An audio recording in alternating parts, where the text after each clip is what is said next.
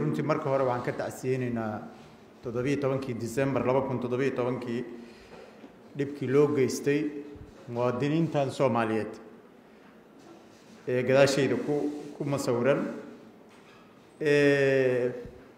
waxaan ka mid ahaa dadkii saacadahaas habeenkii weerarka la soo qaaday oo ugu dambeeyey la joogay hogaamiyaha gurigiisa.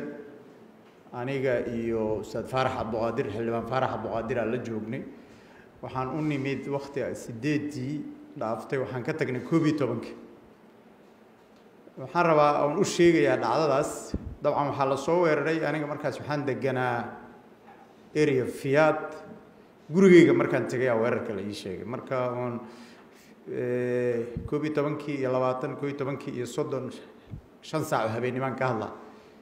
Waxaan rabaa aan u sheegayaa dhacdadaas. Cabdiraxmaan wax dareen ah iyo wax shaki ah iyo wax midnaba kuma jirin. Nin gurigiisa jooga muwaadin soomaaliyeed soo hoyday wax dhibahoo dalka iyo dadka u geystay midna aysan jirin. Marka koowaad wax ogeysiisoo loo keena ma jirin. Ogeysiiska maxkamadda ruuxeeda qaanuunka oo ciqaabta xeerka ciqaabta soomaaliyeed qofkii akhriyaa og lixda kadib ogeysiiska xataa laguma keeni karo. Iska dhaaf fulinta lixda maqribnimo markii la gaaro ogeysiiska gurigaaga lama keeni karo. Shan saac iyo bar habeennimo in guri la galo.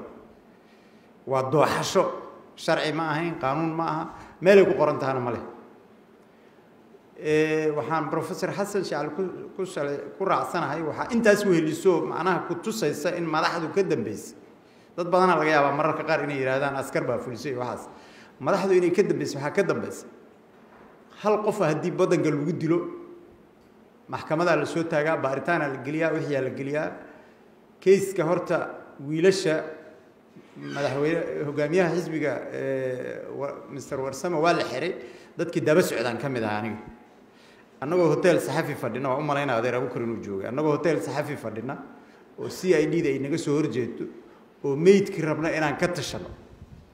Yaa waxaa naloo sheegay meydka in la duugo yaa bixiyey amarka meydkeenna in la duugo anaa xildhibaan u ahay.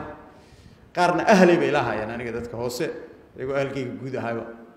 Yaa bixiyey marka amarka in meydkeenna la duugo kubahoodana lagu duugo xurmad daradaas yaa naga yaa naga yaa nagu sameeyey. Nala kalama hadlin nala kalama xaalin ilaa maanta weliba nalooma jawaabin. Marka waxaan rabaa xisbigu waa mahadsan yahay waa run. Meel laysaga haraayaa ma jirto qof kalena looma haysto. Madaxweyne maxamed cabdullaahi farmaaja loo haystaa dembigaas. Sideedana soomaalidu waxyaaba ay ku bacda waxaa ka mid ah dadkii waddankan etoobiyaanka ku soo hogaamiya oo maalin walba raadiyaha taagan aan arkaa. Oo labaatan kun oo qof inta dilo weli raadiyaha soo taagan oo hadlaya. Wax kale maaha annagaa si fudud dadkeenna u ilowna xisbiga wadajir waxaa uga mahad celinayaa inay shantan wiil iloobi diideen dadkana dekanadooda iyo aanadooda haddaysa iloobin subaxaa fursad u imaanaysaa waa la hubaa. Maxamed cabdullahi farmaajo asoo boorso wato meeshaan yimid. Waa la doortay dadkaa u alalaasay. Qaar badan oo idinka mida waa ku jireen anaa og. Waa hadda iga soo horjeeda. Khalad dhaco ahaa. Waxaan rabaa bis inaan waktigu maadaama uu yaryahay sheego. Dictatoriska adduunka. Sidaas oo kalea horta nidaam dimuqraadiya ay ku yimaadaan nidaamka dimuqraadiga ay ku yimaadeenay marka dambe burburiyaan. Taariikhda haddaa akhrisaan mussolini iyo hitler labadaba waa la doortay. Dadkoodu waa doorteen doorashay ku yimaadeen. Dhowr dhowr iyo labaatan milyan oo qof oo ninka la yihahdo hitler meydkii dagaalkii labada adduunka geeridii iyo dhibaatadii ka dhacday. Dhowr iyo labaatan milyan oo qof aa ku dhimatay. Mid marka yay idinla ahaanin wallahi farmaajo waa la doortoo dictator ma noqon karo wax la yidhaha yay idinla ahaanin jacaylka farmaajo aan ka soo arkay afartii sanoo la soo dhaafay. Markii laga bilaabo dhiibistii qalbi dhagax toddobiyo tobankii december wixii laga sameeyey gado iyo jubbaland oo ilaa in ciidamo amxaaraha xukumaantoos uu soo kiraysto madaxweynuhu isku dayay. Wixii baydhabo ka dhacay ood ogeydeen dadka lagu xasuuqay abuumansuur in loo soo afduubay wixii dhuusa mareeb ka dhacay ood ogtihiin dhibaatadii lagu geysto aniga aan goobjoog ka ahay.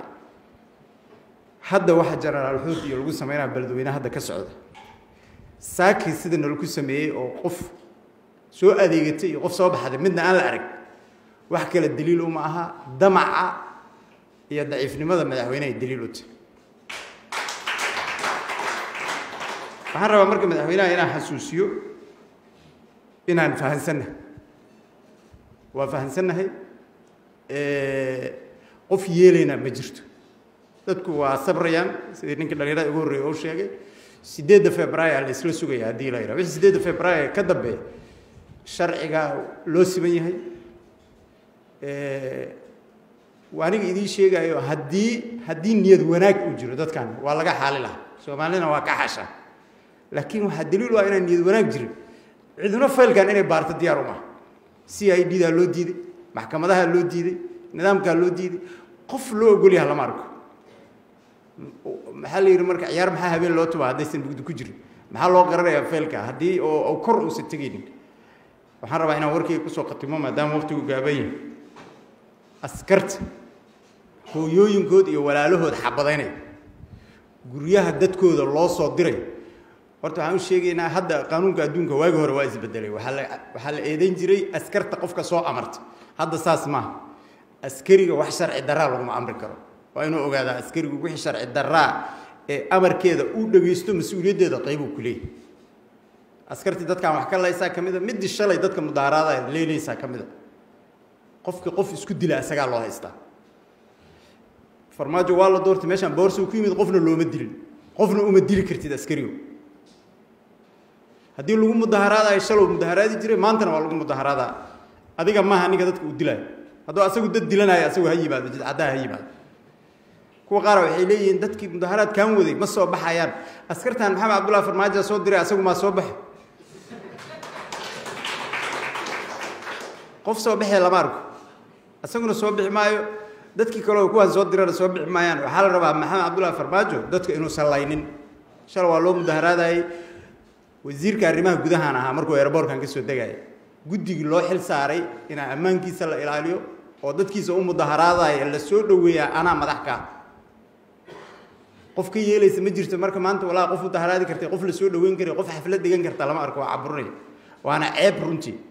Waddanka soomaaliya waa waddan weli soo kabasho ku jira. Waxaan madaxweynaha kula talinaynaa miirkiisu ha yimaado. Konton iyo saddex maalmoodaa u dhiman konton iyo saddexda maalmood reconciliation iyo toobakeen iyo dadka inuu ka xishoodo ha ku dhammeeyo haddii kale ayadoo xanaaq loo wada qabo hadduu meesha ka tago hadhow qof walba liiskiisu la soo baxaya iyo wixii uu haleeyey sida uu sheegay ninka dhallinyarada ah gabdhihii jidadka ku dhalay xataa afartii sano waa loo haystaa. Aad iyo aad baa ud mahadsantihiin. Allah u naxariista